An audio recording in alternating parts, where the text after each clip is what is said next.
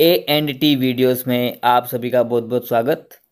जैसा कि आप टाइटल में देख रहे हैं कि एक पहचान पत्र में एड्रेस बदलने के लिए फॉर्म नंबर आठ भरा जाए या आठ ए भरा जाए।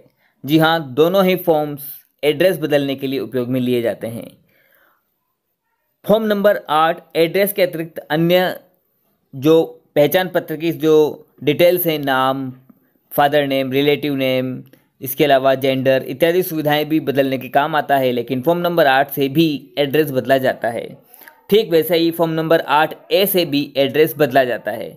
अब फॉर्म नंबर आठ भरा जाए या फॉर्म नंबर आठ है भरा जाए, ये आज हम इस वीडियो के माध्यम से जानेंगे कि किस परिस्थिति में कौन सा फॉर्म भरना चाहिए। आखिर दोनों फॉर्म्स में क्या डिफरेंस है और हमें कौन सा फॉर्म भरें ताकि वो स्वीकार हो। हमने कई बार फॉर्म आठ है या आठ भरा होगा एड्रेस बदलने के लिए, लेकिन वो खारिज कर दिया जाता है। तो आज हम एक मॉडल एक डेमो के माध्यम से, एक मॉडल के माध्यम से हम आपको समझाएँगे कि आपको कौन सा फॉर्म भरना चाहिए ताकि आपका इपिक कार्ड का एड्रेस बदल सके और वो आपका आवेदन स्वीकार किया जा सके। तो आइए हम देखते हैं डेमो तो आइए हम इसे चित्रित रूपांतरण के माध्यम से समझते हैं कि किस प्रकार से फॉर्म नंबर आठ और आठ है में क्या डिफरेंस है, हमें कब आठ भरना चाहिए और कब आठ ए भरना चाहिए। तो एक डेमो समझते हैं कि मान लीजिए ये आपका एक गाँव है या एक कॉलोनी है या एक वार्ड है जहाँ पे आप रहते हैं। निर्वाचक नामावली में या मतदाता पहचान पत्र या निर्वाचन विभाग इसे एक भाग मानता है। जी हाँ इसे एक भाग माना जाता है। एक भाग में कई सारे अनुभाग होते हैं। यानी कि अगर आप एक गाँव की भी बात करें तो आप वहाँ पे देखेंगे कि छोटे छोटे से जो हैं अनु मोहल्ले होते हैं। तो निर्वाचक नामावली या पहचान पत्र विभाग इसको अनुभाग मानता है। अब मान लीजिए इमेजिन करिए आपका घर जो है वो इस जगह पे है यहाँ पे आपका घर है और ये यहाँ पे जो है आपका पच, जो वोटिंग सेंटर है स्कूल है आपको जहाँ पर वोट डालते हैं। ठीक है? ये आपका गाँव हो गया यानी कि एक पूरा ये जो ब्लैक आउटलाइन है ये पूरा भाग है पार्ट है आपका गाँव है आपकी लोकेलिटी है आपका नगर है ठीक है? जो ग्रीन कलर से दर्शाया गया है, ये छोटे छोटे गलियाँ हैं या मोहल्ले हैं, इन्हें निर्वाचन विभाग, अनुभाग के नाम से जानता है। अब हुआ क्या है कि ऐसी स्थिति है आपकी, आपने आपके पहचान पत्र में देखा कि मैं जिस लोकेलिटी में रहता हूँ, अब आपकी लोकेलिटी क्या है? गाँव बहुत बड़ा होता है। पूरे गाँव के नाम से तो आपके मकान को ढूंढ नहीं सकते। आपकी लोकेलिटी है आपकी छोटी सी परिधि, यानी कि ये। इस परिधि में आप रहते हैं। यानी कि इस परिधि में एक गलियाँ होंगी, कुछ मोहल्ले का नाम होगा, ठीक है? तो आपने अपने पहचान पत्र में देखा कि मेरे पहचान पत्र में मेरे पास की लोकेलिटी का नाम नहीं आ रहा है। जी हाँ बूथ लेवल अधिकारियों द्वारा क्या किया जाता है कि स्कूल के नाम का जो लोकेलिटी होता है, वह भी कभी कभी पहचान पत्र में लिख दिया जाता है है ना? तो अब आप अब आप चाहते हैं कि मुझे स्कूल के नाम की लोकेलिटी से कोई मतलब नहीं है मैं उसे बदलाना चाहता हूँ मैं तो ऐसा एड्रेस मेरे पहचान पत्र में सेट करवाना चाहता हूँ जिससे कि मेरे घर को आसानी से ढूंढा जा सके या मेरी लोकेलिटी के आसपास का हो। तो ऐसी स्थिति में आपको फॉर्म नंबर आठ भरना है। जी हाँ आप ये वो स्थिति है जब आप ना तो कहीं से स्थानांतरित होकर आए हैं आप यहीं रहते हैं लेकिन इत, आप अब अपना एड्रेस बदलाना चाहते हैं। मात्र आप अपना एड्रेस बदलाना चाहते हैं। फॉर्म नंबर आठ से आपका जो पोलिंग बूथ है, उसमें किसी भी प्रकार का परिवर्तन नहीं होगा। आपका वोट हमेशा यहीं डलेगा, मात्र आपका एड्रेस चेंज होगा। जी हाँ ये वो स्थिति है, पहली स्थिति, जिसमें आपके जो पोलिंग बूथ है, वो नहीं बदलेगा। आपका जो ये जो फ़र्स्ट सिचुएशन है, इसमें आपने मात्र एड्रेस में परिवर्तन किया है। आपको लगा, मैं मेरी लोकेलिटी का एड्रेस करवाना चाहता हूँ, मेरी गली का नाम डलवाना चाहता हूँ, मेरे मोहल्ले का नाम डलवाना चाहता हूँ, जो कि गलत है स्कूल का नाम डाल रखा है या कुछ अन्य अन्य जगह का नाम डाल रखा है तो आपको बनाए फॉर्म नंबर आठ, उससे आपका पोलिंग बूथ वही रहेगा, उसमें किसी प्रकार का बदलाव नहीं होगा। अब हम समझते हैं दूसरी स्थिति, दूसरी सिचुएशन मान लीजिए, अब आप जो है अपने उस गाँव को छोड़कर किसी अन्य गाँव में शिफ्ट हो गए हैं, आप दूसरे गाँव में आ गए हैं, है ना? अब इसमें एक सिचुएशन ये पड़ती है कि जैसे मान लीजिए यहाँ पे भी बहुत सारे अनुभाग होंगे, क्योंकि दूसरा गाँव है तो ये गाँव भी एक पार्ट है। निर्वाचन विभाग के लिए तो ये दूसरा गाँव भी एक भाग है, और जो छोटे छोटे जो सेक्शन देख रहे हैं, ये उनके लिए अनुभाग है। अब आप मान लीजिए यहाँ से उठकर आप अपने नए घर पे आ गए हैं और आपका नया घर है इस जगह पर। ठीक है? इस नए गाँव के में भी एक स्कूल होगा, जहाँ पर पोलिंग बूथ होगा। तो अब आपका पोलिंग बूथ पड़ता है साहब यहाँ पर। ठीक है? अब आप क्या किया है आपने? दूसरी जो सिचुएशन है आपकी, आप कि इस दूसरी सिचुएशन में आपने क्या किया है? अपना स्थानांतरण। ये जो दूसरी सिचुएशन है, ये दूसरा गाँव है। आप एक गाँव से छोड़ के दूसरे गाँव में आ गए हैं। आपने इसमें क्या किया है? अपना स्थानांतरण। आप सीधा यहाँ से उठ के यहाँ पे शिफ्ट हुए हैं। तो अब आपको क्या भरना होगा? फॉर्म नंबर आठ ए फॉर्म नंबर आठ ए भरते ही आपका जो पोलिंग बूथ है वो बदल जाएगा। जी हाँ पहले आप यहाँ वोट डालते थे, अब आपका वोटिंग सेंटर बदलकर हो जाएगा दूसरा वाला, ये वाला। आपका वोटिंग सेंटर बदलकर हो जाएगा, अब आपका वोटिंग सेंटर हो जाएगा, ये वाला। जी हाँ तो ऐसी स्थिति में आपको बढ़ना है आठ ए अर्थात आप एक गाँव से छोड़कर दूसरे गाँव आ गए हैं, या आप ऐसे दायरे में आ गए हैं जहाँ पर दूसरा पोलिंग स्टेशन एरिया लगता है, जहाँ पर दूसरा पोलिंग बूथ है, दूसरा स्कूल है, वहाँ पर आपका वोट लगेगा तो फिर आपको फॉर्म नंबर आठ ए भरना होगा। अब इसमें भी एक शर्त है, ये दोनों गाँव दोनों जो स्थानांतरण आपने किए हैं, दोनों जो जगह आपने बदली हैं, इसमें एक नियम यह है कि ये पूरा एरिया एक ही विधानसभा क्षेत्र का होना चाहिए। मान लीजिए एज्यूम करिए कि ये एक शहर है पूरा बड़ा, जो मैंने आउटलाइन बनाई है, ये एक पूरा एक बड़ा शहर है, ये पूरी एक विधानसभा है। जैसे ही अगर आप विधानसभा चेंज कर देंगे, मान लीजिए आप किसी दूसरी विधानसभा में चले गए, अब विधानसभा से मतलब समझिए, मान लीजिए आप जयपुर की बात करें तो ये जो पहली विधानसभा थी, ये है जयपुर का मानसरोवर।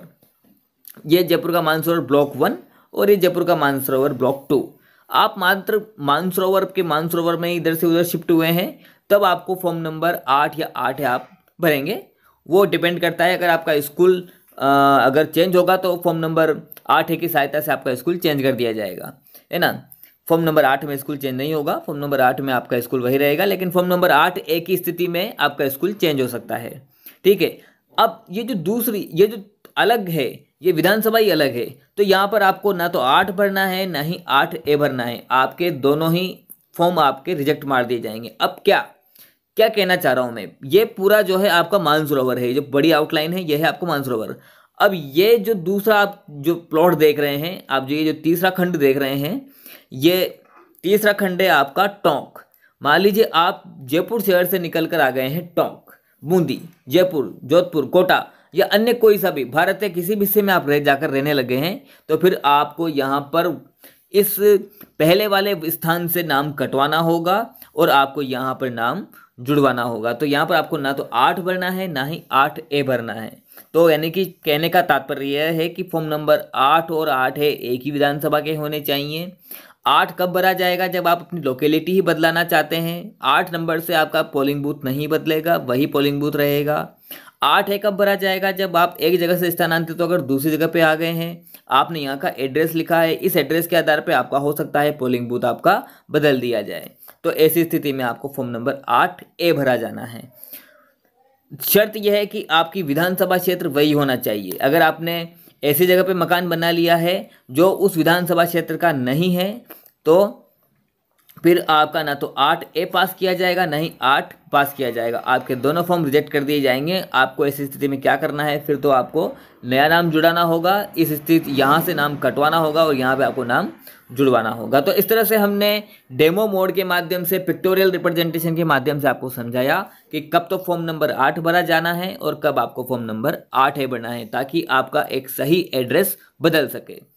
तो अब हम तो आइए वोटर हेल्प हेल्पलाइन ऐप की सहायता से देखते हैं कि फॉर्म नंबर आठ ए किस प्रकार से भरा जाता है। तो वोटर हेल्प हेल्पलाइन ऐप पर चलते हैं। वोटर हेल्पलाइन का ऑफिशियल लोगो जो ये है ये आप देख रहे हैं, ये ऑफिशियल लोगो है। अगर आपके मोबाइल में वोटर हेल्पलाइन ऐप नहीं है तो आप गूगल प्ले स्टोर की सहायता से आसानी से वोटर हेल्पलाइन ऐप डाउनलोड कर सकते हैं। तो वोटर हेल्पलाइन ऐप जब आप ओपन करेंगे तो आपके सामने वैसे तो इस प्रकार का स्क्रीन आएगी। इस स्क्रीन में आपको स्कीप लॉगिन ऑप्शन काम लेना है। जी, आपको लॉगिन नहीं करना है। और अगर आपने पहले से ही वोटर हेल्पलाइन ऐप काम में ली है तो आपको कुछ इस प्रकार की स्क्रीन आपको दिखाई देगी। यहाँ पे हमें फॉर्म नंबर आठ है भरना है तो वोटर रजिस्ट्रेशन जो ऑप्शन दिया हुए हैं, इस वोटर रजिस्ट्रेशन ऑप्शन की सहायता से हमें अंदर मेन्यू ओपन करनी है। यहाँ पर फॉर्म नंबर छः सात, आठ, विभिन्न प्रकार के फॉर्म्स की सूची आपको दिखाई गई है। फॉर्म नंबर आठ है, किस प्रकार भरा जाना है? तो हमें shifting within assembly constituency वाला जो ऑप्शन है, जी हाँ shifting within assembly constituency form number आठ है, इस पर टैप करना होगा। यहाँ पर हम टैप करते हैं। इस स्क्रीन पे आपको डेस्ट स्टार्ट करके आगे बढ़ जाना है। यहाँ पर आपसे पूछा जा रहा है इपिक नंबर यस आई है वोटर आईडी नंबर इस पर आपको टैप रखना है और नेक्स्ट के बटन पे टैप कर देना है। अब आपको डालना है वोटर आईडी नंबर से एक। जिस भी आपको जिसका आपको एड्रेस चेंज करना है, जिस भी वोटर आईडी क्रमांक में आपको वो उसका वोटर आईडी क्रमांक लिखना है। वोटर आईडी क्रमांक सही लिखें, अन्यथा गलत वोटर आईडी क्रमांक लिखने पर गलत वोटर का जो है एड्रेस बदल सकता है या फिर आपका आवेदन खारिज हो सकता है। तो आप गलत वोटर आई नंबर नहीं लिखें, आप सही वोटर आई नंबर लिखें। वोटर आई नंबर लिखने के बाद आपको फ़ेज़ डिटेल बटन दिया हुआ है। इस फ़ेज़ डिटेल बटन पर आपको टैप करना है। फ़ेज़ डिटेल बटन पर आप टैप करेंगे तो अगर आपने सही वोटर आई नंबर डाला है तो ये आपको एक मैसेज देगा we have found this record for your enter voter ID अर्थात आपने जो वोटर आई नंबर डाला है, वो डेटाबेस से मैच कर लिया गया है, जो कि सही है। अब आपको करना है प्रोसेस बटन पर टैप प्रोसेस बटन पर टैप करते ही आपको एक प्रीव्यू दिखाया जाएगा। आपने जो वोटर आईडी क्रमांक नंबर डाले थे, आपको वेरीफाई कर लेना है कि क्या ये वही वोटर आईडी नंबर हैं या ये वही नाम पते हैं जो, जिनका आपको अपना एड्रेस जिनका आपको बदलना है। अगर आप इंश्योर हैं कि हाँ ये सब कुछ वही हैं तो आपको नेक्स्ट बटन पर टैप कर देना है। उसके बाद आपको जो करेक्शन करना है, आपको जो एड्रेस आपको बदलाना है, वो सही एड्रेस आपको यहाँ पर लिखना होगा। तो हम यहाँ पर मकान संख्या डालेंगे। मकान संख्या हम डाल रहे हैं हिंदी इंग्लिश का यहाँ पर है ऑटोमेटिक ट्रांसलेशन हो जाता है। ऊपर वाला सेक्शन इंग्लिश का है, नीचे वाले सेक्शन में ये अपने आप हिंदी भाषा में ऑटोमेटिक ट्रांसलेट कर देगा। ये नेट पर डिपेंड करता है, अगर आप ऑटोमेटिक ट्रांसलेट करने में असुविधा हो रही है तो आप इस स्क्रीन को टैप करके आप इस ऑटोमेटिक ट्रांसलेशन को रोक सकते हैं और मैन्युअली भी यहाँ पर आप मकान संख्या या किसी प्रकार की सूचना को आप बढ़ सकते हैं। स्ट्रीट यानी कि आप जिस लोकेलिटी में रहते हैं, उस लोकेलिटी का आपको यहाँ पर गली मोहल्ले का नाम लिखना है। तो मैं यहाँ पर अपने गली मोहल्ले का नाम लिखूँगा। उसके बाद हिंदी वाले रूपांतरण ऑटोमेटिक कर देगा। उसके बाद आपको लिखना है शहर का नाम। जिस शहर में आप शिफ्ट होके आए हैं, उस शहर का आपको नाम लिखना है। तो ये मैं शिफ्ट शहर का नाम लिख देता हूँ। हिंदी में ये अपने आप ट्रांसपोर्ट ट्रां ट्रांसलेट कर देगा। उसके बाद पोस्ट ऑफ़िस का आपको हिंदी में नाम लिखना है। इंग्लिश में लिखना है, हिंदी में ऑटोमेटिक ट्रांसलेट आपको करके दे देगा। उसके बाद आपको लिखना है पिन कोड पिन कोड आपको संख्यात्मक संख्या में भरना है। उसके बाद आपको भरना है मोबाइल नंबर अब यहाँ पे देखिए। ये एक ऐसी स्थिति है जहाँ पर पहले से ही मोबाइल नंबर आपको भरा हुआ दिखाई दे रहा है, जो कि नहीं होना चाहिए। अर्थात ये स्थिति कब आई? इससे ठीक पहले आपने वोटर हेल्पलाइन ऐप की सहायता से फॉर्म नंबर छः भरा हो, सात भरा हो, आठ भरा हो, किसी प्रकार का आपने इसी ऐप से, इसी मोबाइल से आपने अगर कोई पुराना फॉर्म भरा है तो वही आपका मोबाइल नंबर यहाँ पर आ गया है, जो कि नहीं आना चाहिए, जो कि गलत है। अब आपको क्या करना होगा? इस स्थिति से बचने के लिए आपको ऐप का डाटा क्लियर करना होगा या फिर अगर आपको ऐप का डाटा क्लियर करना नहीं आता है तो आप ऐप को अनइंस्टॉल करके दोबारा से इंस्टॉल भी कर सकते हैं। तो हम ऐप का डाटा क्लियर कर रहे हैं, जा, करने जा रहे हैं। मैंने ऐप का डाटा कैसे क्लियर करते हैं, इसका एक सेपरेट वीडियो बना रखा है ताकि आपको बार बार ऐप को इंस्टॉल अनइंस्टॉल ना करना पड़े। हमने ऐप का डाटा क्लियर कर दिया है। अब हम स्कीप रजिस्ट्रेशन की सहायता से इस डैशबोर्ड पे आ गए हैं। वापस हम वोटर रजिस्ट्रेशन जो आइकन है उस पर टैप करते हैं फॉर्म नंबर आठ ए पर टैप करते हैं लेट्स स्टार्ट पर टैप करते हैं, जी देखिए। पहले में और अब में ये अंतर आया है कि अब हमसे मोबाइल नंबर मांगे जा रहे हैं। जी हाँ आपको इपिक संख्या के साथ वही मोबाइल नंबर अटैच करने हैं जो मतदाता के वास्तव में हैं। जी हाँ आपको ये ध्यान रखना होगा, अगर आप बूथ लेवल ऑफिसर्स हैं या एक वोटर भी हैं, तब को आपको ध्यान रखना है कि पहले वाले मोबाइल नंबर को आपको हटाना होगा। अन्यथा, उसी मोबाइल नंबर को सभी फॉर्म्स के साथ जो जो भी आपने एक मोबाइल से फॉर्म भरे हैं, उस एक ही नंबर को सबके साथ जोड़ दिया जाएगा। तो आपको डेटा क्लियर करना होगा या फिर आपको एप्लीकेशन को अनइंस्टॉल करके दोबारा से इंस्टॉल करना होगा। उसका हमने एक सेपरेट वीडियो बना रखा है, जिसका डिस्क्रिप्शन में हम लिंक डाल देंगे या फिर आप हमारे चैनल पर आकर उसका वीडियो भी आप देख सकते हैं। तो हम यहाँ पर मोबाइल नंबर को ऑथेंटिकेट कराएँगे और आगे बढ़ेंगे। मोबाइल नंबर ने ऑथेंटिकेट करवा लिया है। अब आपसे वही ऑप्शन मांगे जा रहे हैं वापस से। क्या आप एक वोटर आईडी रखते हैं? हाँ हम एक वोटर आईडी रखते हैं। नेक्स्ट करेंगे। आपको यहाँ पर वोटर आईडी नंबर डालना है। वोटर आईडी के बारे में बताया था मैंने, वोटर आईडी क्रमांक आप सही डालें, कहीं ऐसा ना हो कि आपके किसी भी अंक की गलती से किसी अन्य व्यक्ति का एड्रेस बदल जाए या आपका आवेदन खारिज कर दिया जाए। फेस डिटेल बटन पर टैप करते हैं, आपका रिकॉर्ड फेस कर लिया गया है, अब हमें करना है प्रोसेस बटन पर टैप। प्रोसेस बटन पर टैप करने के बाद आपको यहाँ पे एक स्क्रीन दिखाई जाती है, जिसमें ये आपको चेक करना है कि क्या डाटा आपका ही है। अगर इंश्योर हैं, आप डाटा आपका ही है तो आपको कर देना है नेक्स्ट। अब इस स्क्रीन में जब हम डिटेल्स भरते हुए आ रहे थे तो हम यहाँ पर नीचे आ गए थे। और नीचे हमने देखा था मोबाइल नंबर जी हाँ अब मोबाइल नंबर आपके वो हैं जो आपने अभी ऑथेंटिकेट करवाए हैं। ये वो मोबाइल नंबर है जो अभी आपने ऑथेंटिकेट करवाए हैं। तो इस प्रकार से आपको मोबाइल नंबर आपको बार बार बदलने हैं। बदलने के लिए आपको मोबाइल का डेटा कैश क्लियर करना होगा या फिर एप्लीकेशन को इंस्टॉल और अनइंस्टॉल करना होगा। तो अब हम इस डिटेल को भरते हैं। हाउस नंबर यहाँ पर जो था हमने हाउस नंबर भर दिया है, ये ऑटोमेटिक ट्रांसलेट होकर हिंदी में आ जाएगा या रीजनल लैंग्वेज में आ जाएगा।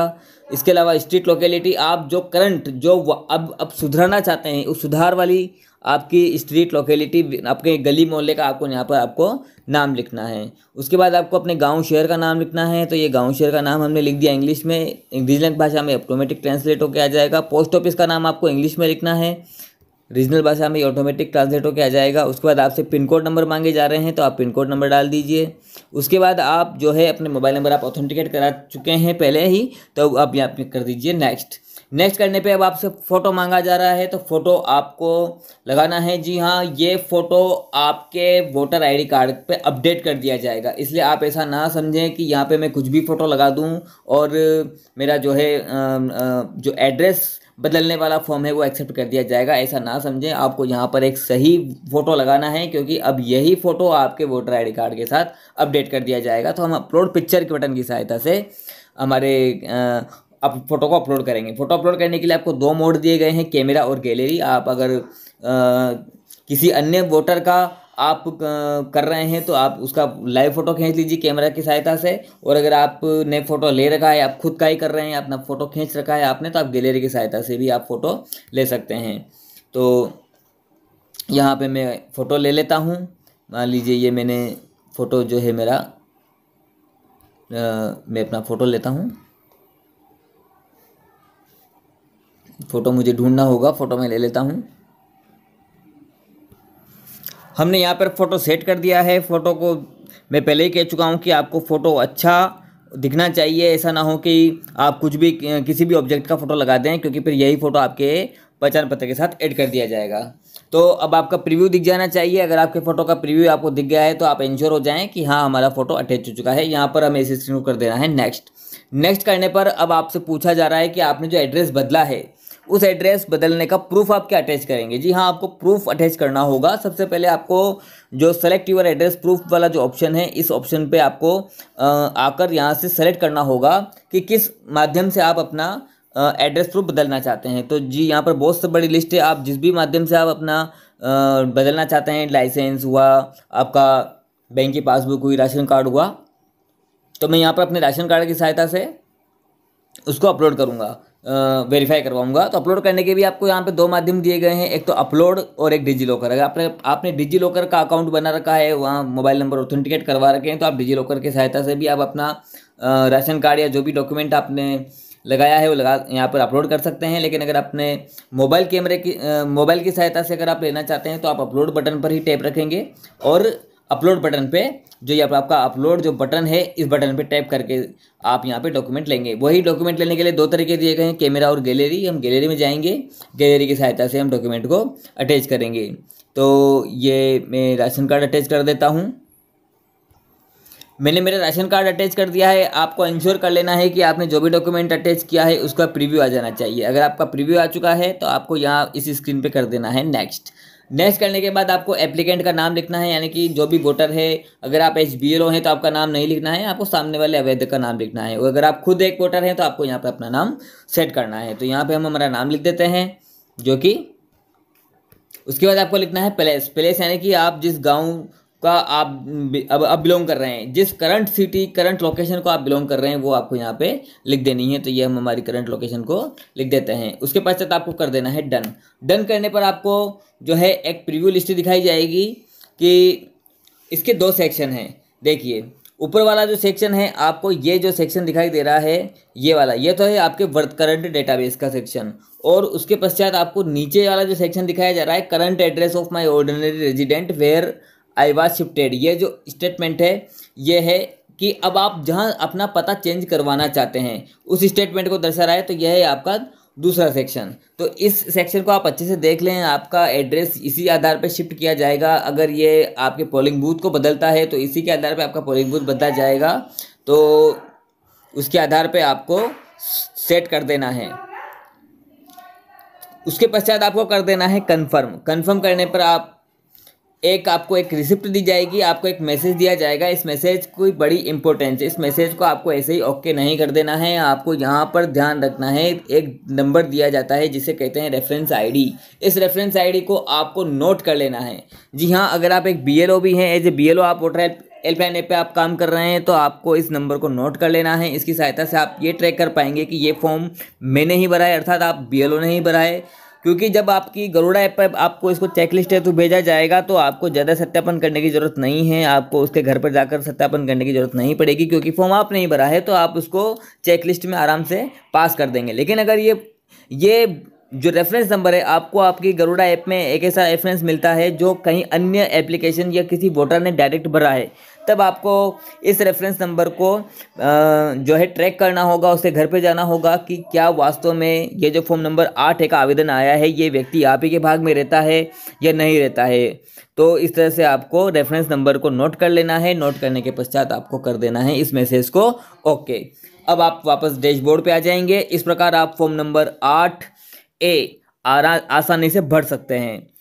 तो इस प्रकार हमने इस पूरे वीडियो ट्यूटोरियल में जाना कि फॉर्म नंबर आठ ए कब भरा जाता है आठ कब भरा जाता है और कब कौन सा फॉर्म भरना चाहिए। तो आप आ, बहुत ही समझदारी से समझकर फॉर्म नंबर आठ और आठ ए को भरिए। दोनों ही माध्यम से एड्रेस बदले जाते हैं लेकिन आठ जब उस स्थिति में भरा जाता है जब आप वहीं रहते हैं आप अपनी लोकेलिटी को ही चेंज करना चाहते हैं। लोकेलिटी को बदलने से या फॉर्म नंबर आठ को बदलने से आपका पोलिंग बूथ वही रहेगा, उसमें बदलाव नहीं होगा। लेकिन अगर आप आठ ए भरते हैं, आपकी लोकेलिटी यानी कि आपका निवास का स्थान इस प्रकार बदल दिया जाता है आपके द्वारा कि उससे आपके पोलिंग बूथ पर भी प्रभाव पड़ता है तो आपके हो सकता है कि आपके पोलिंग स्टेशन को भी बदल दिया जाए। तो इस प्रकार से आप आसानी से इस वीडियो ट्यूटोरियल की सहायता से समझ कर देखभाल कर आप फॉर्म नंबर आठ और आठ ए में अंतर समझ गए होंगे तो आप अपनी सुविधा अनुसार आठ या आठ ए फॉर्म को भरिए। Thank you.